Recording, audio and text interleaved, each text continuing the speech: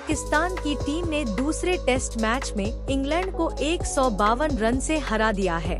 इस जीत के साथ पाकिस्तान की टीम ने तीन मैचों की टेस्ट सीरीज़ में एक से एक की बराबरी कर ली है। खेल के चौथे दिन इंग्लैंड के सामने 261 रन की चुनौती थी और उसके आठ बल्लेबाज शेष थे। लंच से पहले ही इंग्लैंड की टीम दूसरी पारी में 144 रन पर ऑल आउट हो गई। नोमान अली ने पहली पारी में छह विकेट चटकाए। पाकिस्तान ने इस जीत के साथ डब्ल्यूटीसी पॉइंट्स टेबल में अपनी स्थिति में सुधार किया है।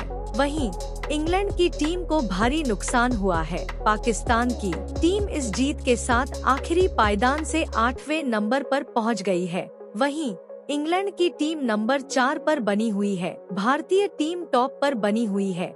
वहीं, ऑस्ट्रेलिया दूसरे तो श्रीलंका की टीम तीसरे नंबर पर है। पाकिस्तान की तरफ़ से 38 साल के बाएँ हाथ के स्पिनर नोमान अली ने दूसरी पारी में 46 रन देकर 8 विकेट झटके। वहीं, साजिद खान ने भी तिरानवे रन देकर दो विकेट लिए।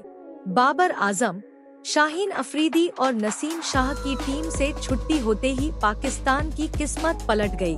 For more cricket updates follow cricket country